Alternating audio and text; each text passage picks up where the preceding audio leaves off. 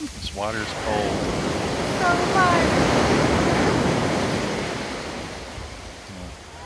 See down the beach.